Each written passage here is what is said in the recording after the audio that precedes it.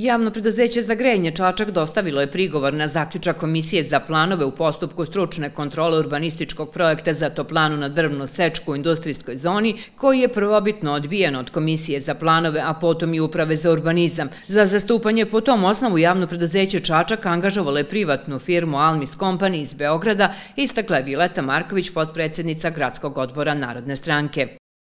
Prigovor na taj, eh, na to na taj urbanistički projekat su regularno oni uputili u ime JKP Čačak u kome su dostavili, vrlo interesantno, da je kotao na gas od 35 megavata u industrijskoj zoni van upotrebe, da je u jako lošem stanju i da on nije više u funkciji. I to je svrha prigovora. Znači, privatna firma iz Beograda u ime javno-komunalnog preduzeća Čačak daje izjavu i žali se na urbanistički projekat tako što kaže da najveća kotlarnica u našem gradu nije u funkciji. I to će u nekom trenutku na prvom sledećem gradskom veću grada Čačka doći na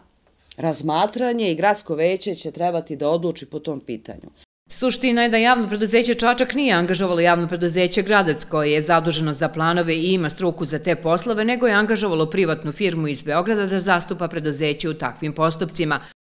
Da li je to ikome normalno, da li se ikada do sada to radilo i da li je ta firma Almis Company u vrlo bliskim odnosima sa budućim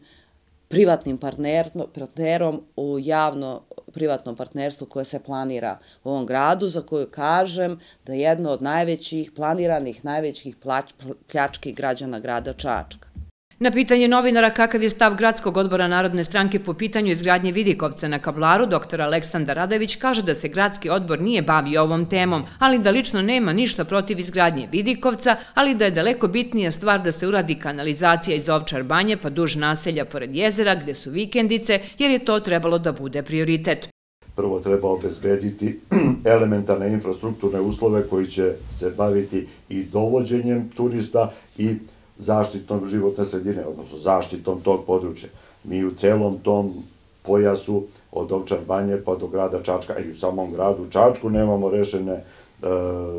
nemamo rešen sistem kanalizacije, dakle ako odete do Kulinovačkog polja vidite da se cela gradska kanalizacija izliva direktno u zapadnu Moravu. Dakle, to je nešto što bi trebalo da bude moralo, da bude prioritet i redosled radnji, obezbeđivanje svih onih infra, infrastrukturnih elemenata koji mogu da obezbede da se pravi vidikovac koji neće da narušava životnu sredinu. Dakle, sve jedno je da li se radi o Vidikovcu ili nekom drugom objektu koji služi za odmor, zabavu, rekreaciju, za šta god, ne treba ni jedan objekat da ugrožava one ljude koji su nizvodno ili na drugu stranu zavisni od zagađenja sa tih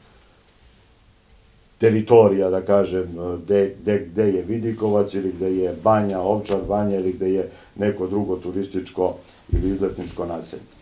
Meni lično Vidikovac ne smeta kakav je stav članova gradskog odbora, ne znam jer o tome nismo diskutovali. Vidikovaca ima na puno različitih mesta, a koliko je ovaj oblik najbolje rešenje neću komentarisati jer je to sekundarno pitanje, rekao je Radojević.